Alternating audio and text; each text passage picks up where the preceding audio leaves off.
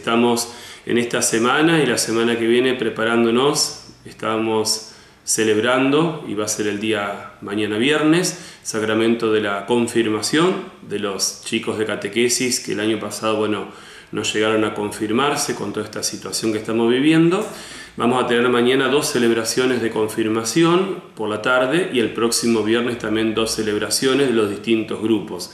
Por eso a lo largo de esta semana, de la que viene, bueno, los chicos se van preparando con ensayo, con la confesión eh, y a su vez, bueno, eh, la misma familia. Estas celebraciones, bueno, participan el chico con su madrino o padrino, los papás, algún hermanito y bueno, y pedimos que nadie más por el tema de, que tenemos que respetar esta situación que estamos viviendo, el, distanciamiento, por más que bueno, nuestro templo parroquial es un templo grande, amplio. Sí, esto es un poquito lo que se va desarrollando en esta semana. Vos decías, bueno, celebraciones importantes, tenemos este fin de semana la tradicional fiesta de la Virgen de Guadalupe, siempre es el tercer fin de semana de la Pascua y principalmente el día sábado, que es eh, el día que se celebra la Virgen de Guadalupe. Bien, desde la Basílica, bueno, ya han dado las distintas informaciones que habrá muchas misas continuadas en la cual podrá participar un número de gente en el cual según la capacidad, bueno, entrarán, irán entrando y a medida que, bueno, que, que se llena el cupo, se cierra la basílica, tendrán que esperar, por eso, bueno, invitaban a que se participe de las distintas comunidades parroquiales. Eh, y bueno, y por ahí no ir allí o participar onlinemente por el Facebook de la Basílica de Guadalupe que van a ir transmitiendo todas las celebraciones. Eh, no se hace ninguna misa central como era normalmente, ni tampoco las procesiones que, que habitualmente la gente iba caminando, todo eso está todo, digamos, suspendido, igual la gente va a ir, digamos, yo lo que digo la, devoción, el amor a la Virgen de Guadalupe, la gente va a ir igual. En esto es, eh, es incontrolable, es infrenable, yo diría, porque la gente va, la gente va.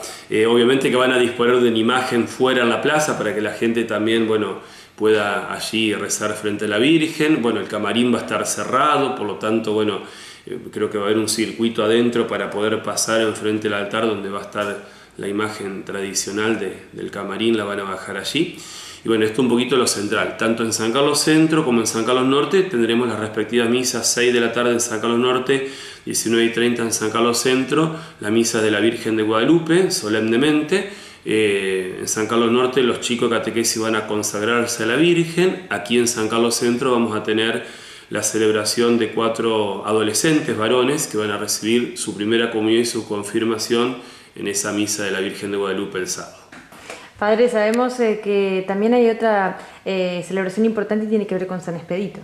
Claro, la semana que viene, y bueno, es el lunes ya invitar a la comunidad a participar, es la fiesta de San Expedito. Todos los 19 se conmemora, pero el 19 de abril es la fiesta de este gran santo mártir. Bueno, invitar a participar, la misa especial solemne será el día lunes a las 19 y 30 horas, y bueno, y siempre está el gesto del alimento no perecedero para Cáritas, los hermanos necesitados, y el día martes, bueno, tenemos y conmemoramos siempre al Divino Niño en los 20 de cada mes, entonces la misa que va a transmitir también por el Facebook de la parroquia, bueno, por las mamás embarazadas, por las que desean tener un hijo y por todos los niños se impartirá la bendición, los que vienen presencialmente y si no a través de, de, la cámara, de la transmisión de la misa online recibirán en sus hogares.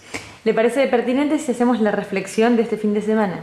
Bien, un poco la reflexión de este fin de semana la centraría en, la Virgen de Guadalupe, Madre Nuestra, Madre también de nuestra iglesia Santa Fecina y, esta devoción tan especial que tiene la iglesia eh, de Santa Fe y bueno, y también aquí en San Carlos el amor y la devoción a la Virgen en general está muy arraigado, entonces también creo que lo de la Virgen de Guadalupe también está muy, muy arraigado en nuestra comunidad. Finalizo con la oración a la Virgen de Guadalupe que la hemos rezado durante todo el año mariano que finalizó el año pasado en el 2020. Madre y Reina de Guadalupe, que nos cuidas y nos acompañas, que estás siempre presente entre nosotros, enséñanos a vivir como tus hijos, imitando a Jesús. Bendice todas nuestras buenas intenciones, bendice nuestro trabajo de cada día, cuida nuestras familias, ampara a nuestros niños y jóvenes, sana a nuestros enfermos y fortalece a nuestros ancianos. Llévanos de tu mano, Jesús. Amén. Nuestra Señora de Guadalupe ruega por nosotros.